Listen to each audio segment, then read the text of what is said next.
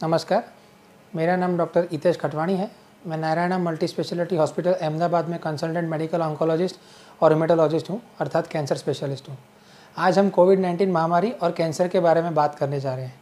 जैसे कि हम सब जानते हैं कि महामारी का कहर पिछले पाँच से छः महीने से लगातार जारी है, लेकिन इस महामारी के दौरान कैंसर के मरीज़ और उनके रिलेटिव्स में काफ़ी प्रश्न और काफ़ी दुविधाएँ रहती है। तो आज हम उन प्रश्नों और दुविधाओं को सुलझाने का प्रयत्न करेंगे। कैंसर के ज़्यादातर मरीज़ों में ये प्रश्न रहता है कि क्या मुझे भी महामारी होने की संभावना है? तो इसके लिए मैं ऐसा कहना चाहूँगा कि महामारी का संभावना हर किसी को है, चाहे कैंसर हो या ना हो। लेकिन कैंसर के कुछ ऐसे मरीज़ होते हैं जिनमें महामारी का रूप गंभीर रूप से देखा जा सकता है, जिन्हें सीवियर डिज़ीज़ हो सकती है। वैसे मरीज़ हैं ब्लड कैंसर के मरीज़ लंग कैंसर अर्थात फेफड़ों के कैंसर के मरीज़। ऐसे मरीज़ जो कीमोथेरेपी ले रहे हैं या पिछले तीन महीनों के अंदर कीमोथेरेपी ले चुके हैं, और बोन मेरो ट्रांसप्लांट के मरीज़। कैंसर के कुछ ऐसे मरीज़ होंगे जिनका निदान हाल ही में हुआ होगा, और उनके मन में यह प्रश्न होगा, यह दुविधा होगी कि क्या मुझे कैंसर का इलाज अभी शुरू करना चाहिए या कुछ विलम्ब कर सकता हूँ। देखिए, कैंसर अपनी गति से बढ़ने वाला है।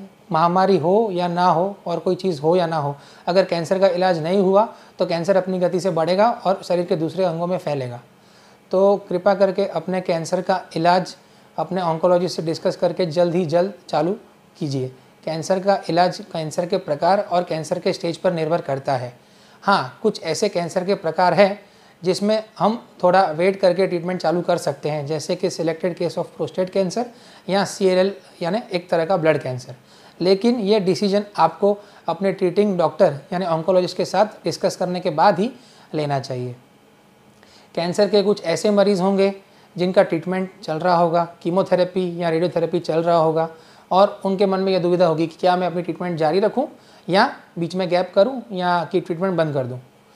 जैसे मैंने आपको पहले बोला कि कैंसर का ट्रीटमेंट टाइम पे होना चाहिए। कैंसर का इलाज जितने जल्दी स्टेज में और जितना शुरुआत में हो, उतना ही रिज़ल्ट अच्छा मिलता है।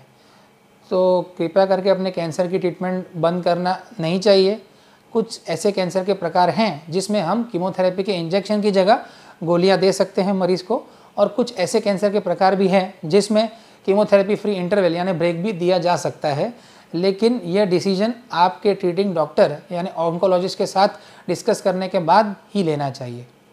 कैंसर के कुछ ऐसे मरीज़ होंगे जिनका ट्रीटमेंट ख़त्म हो चुका होगा और रेगुलर फॉलोअप विज़िट के लिए अपने ऑन्कोलॉजिस्ट या डॉक्टर के पास जाते होंगे।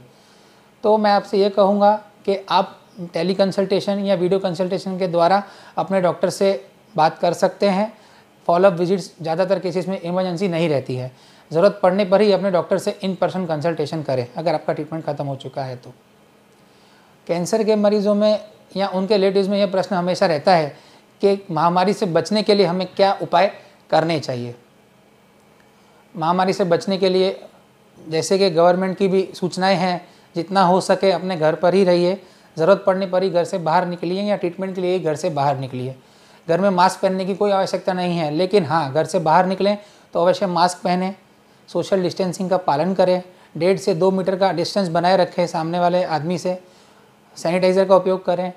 हैंड हाइजीन मेंटेन करें। अच्छे से हाथ धोइए। कम से कम 20 सेकेंड अल्कोहलिक सैनिटाइज़र से हाथ साफ़ करिए और अपनी इम्यूनिटी यानी रोग प्रतिकारक शक्ति मेंटेन रखिए। काफ़ी लोगों में ये प्रश्न होता है कि मैं क्या अपनी इम्यूनिटी बढ़ाने के लिए दवाइयाँ या कोई इंजेक्शनों का सेवन करूँ? मेरे हिसाब से अपनी इम्यूनिटी या रोग प्रतिकारक शक्ति बढ़ाने के लिए कोई दवाई या टॉनिक का सेवन करने की आवश्यकता नहीं है। पौष्टिक आहार लीजिए। ज़्यादातर प्रोटीन युक्त आहार लीजिए। अच्छे से पानी का सेवन कीजिए, हरी सब्जियों का सेवन कीजिए, शरीर को सूट हो, उस तरह से व्यायाम कीजिए, योगा वगैरह कर सकते हैं और हमेशा स्ट्रेस फ्री रहिए, खुश रहिए। देखिए, ये जैसे अपने को पता है कि महामारी का वक्त चल रहा है महामारी कुछ टाइम में बीत जाएगी। तो आइए हम सब मिलके महामारी और कैंसर का सामना करें और हाथ मिलाकर इस महामारी और कैंसर के अगेंस्ट लड़ाई लड़ें। Thank you